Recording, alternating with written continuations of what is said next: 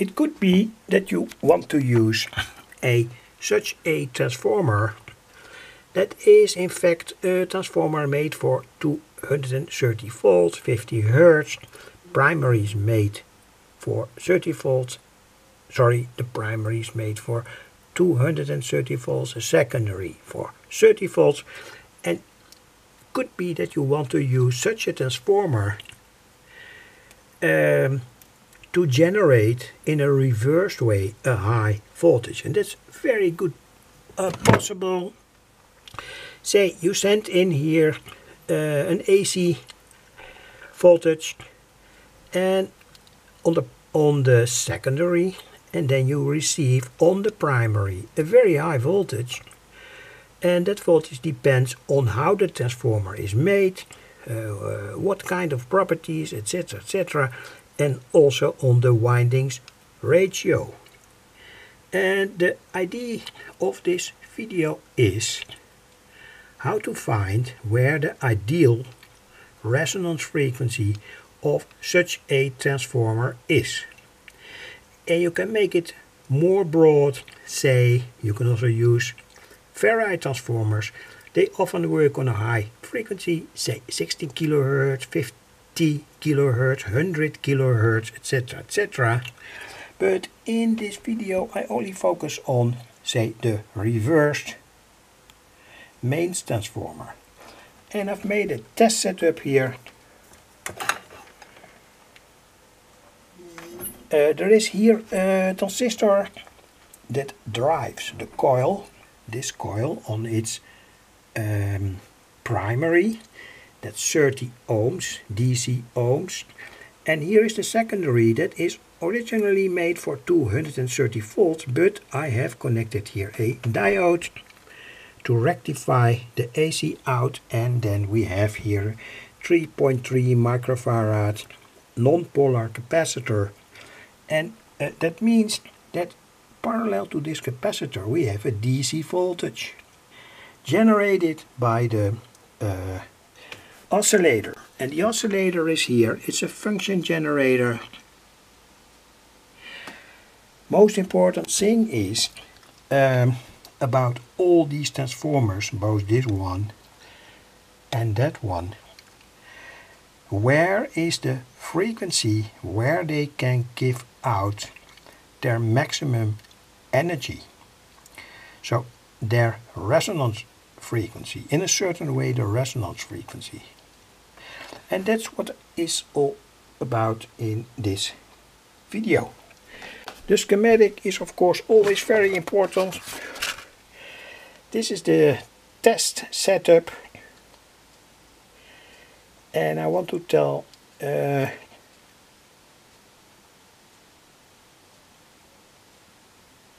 very quickly where it's all about. Uh, I use now 12 volts.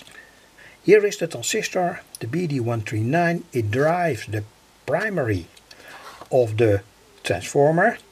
And of course, uh, keep in mind that now the primary me means the low voltage side. Anyway, it drives the primary protective diode um, and the key issue of it all is that we can send in to that uh, transistor different frequencies. So I've used here a, a square wave oscillator it sends out uh, square waves to the uh, the transistor. That transistor is driven by square waves of all kinds of frequencies and the key is to find the ideal frequency for such for any transformer and this is the bias setting. Here the mark, uh, 2 microfarad capacitor, the voltmeter, we have here DC volts and uh, about say this test circuit useful transformers have a, primary winding of 10 ohm uh, to 40 ohms secondary winding of 100 ohms to 10,000 ohms. But of course in this transformer it's only 3000 ohms But when you have a real ferrite transformer, that's a completely other situation. These ferrite transformers were made uh, in the past for um, analog TV sets. Now um, in all kinds of other circuits, uh, solar converters, etc. etc. But anyway, useful transistors BD139, 2N3055, BD743C, though, that's important, um, the amplification factor, sorry, this amplification factor is okay, but this is a real high voltage transistor, and the MJE uh, 18004 NPN transistor can handle 400 volts but the, here the amplification is very very low. So that's what I wanted to tell uh, you can use this transistor but perhaps you have you need a more fierce say driving of the uh, transistor in this experimental setup. Back to the schematic. Show it again and let's see what this circuit can bring.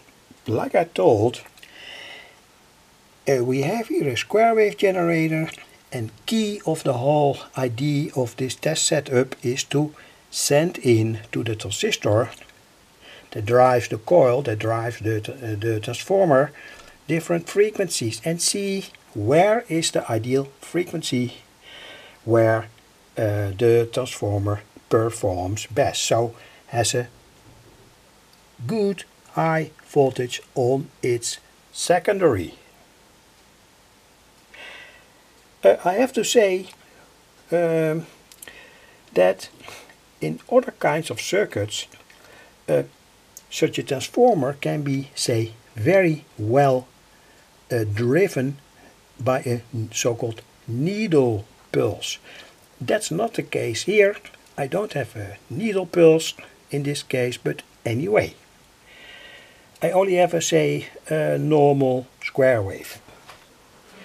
I want to put down the camera for a while because I want to show something.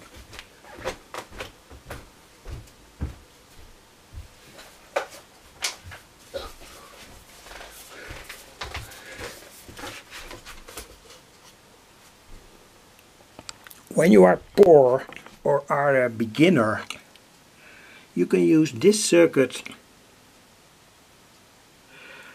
for a pulse generator that can generate all kinds of frequencies. For higher voltages, now it's for 12 volt, but for higher voltages you can use other resistor values, especially here, this one and that one, they are now 330 ohms but uh, for higher voltages. Change them into 1k 1000 ohms or 1500 ohms. Change the transistor. You don't use a BC547B but use a BD139 change these capacitors for other frequency bands. It's a very useful circuit I've made it many times. So finally, let's look what this circuit can bring. Uh, I started my oscilloscope here, the Hantek oscilloscope. Uh, it is a very good waveform. Uh, sorry, not the scope as a waveform, but the feedback square wave generator has a good waveform uh, maximum output is a volt peak peak so maximum here 10 volts. And of course you can see that it that it really really happens. It's a good brand. It's a um, function generator of the 1970s but anyway. Most important thing is let us search for the ideal frequency where this um, transformer, this transformer in this case, it's a very very tiny mains transformer. I don't want to flip it because perhaps the crocodile clips uh, fall off, but anyway. I now give voltage to the circuit. And I use 12 volts. Let's see what happens. Here you can see that on the secondary the voltage slowly slowly goes up. That means that this capacitor is charged via this uh, diode and now we are on 147 volts. Of course the energy that is present here uh, is tiny because we have a tiny transformer. Anyway, let's see what happens when we change the frequency and that's say the whole idea of this video. Put down the camera. I'm now going to turn the frequency knob of the uh, square wave generator. So it's now 13 kilohertz. That's the best frequency where this uh, uh, transformer originally made for 230 volts at 50 hertz uh, gives out the best high voltage. So I'm going to change now the frequency to a lower frequency. Now we are on 6 kilohertz approximately.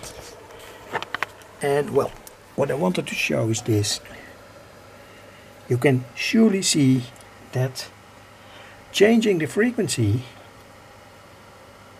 that drives the transistor that drives the transformer has an enormous effect on the maximum output voltage. So I now go again back to 13 kilohertz approximately and you can surely see that the voltage goes up up and up to say the maximum that is in this case 130 or somewhat 140 150 volts. 150 volts. So um, key of it all is the frequency.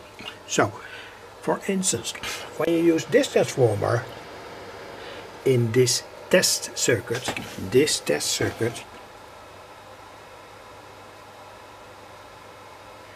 does this, this test circuit,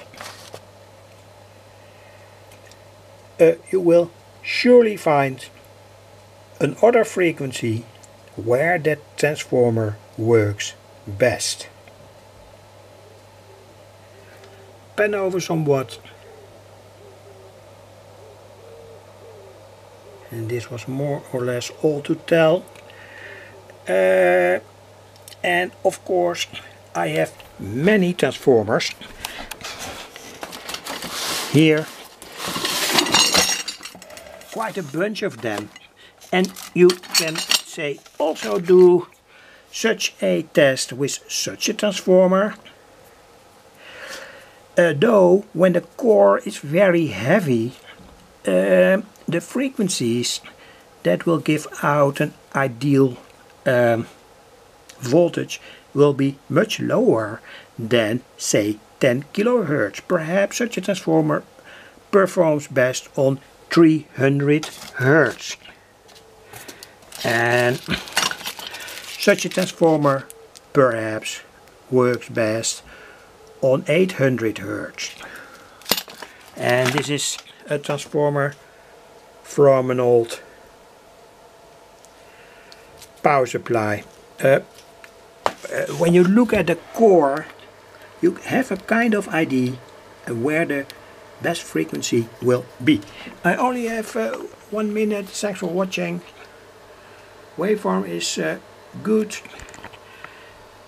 Quickly show the different frequencies that you can set and here of course there are many other frequencies uh, say to test such a uh, transformer on its best properties, in fact on its resonance. Thanks for watching.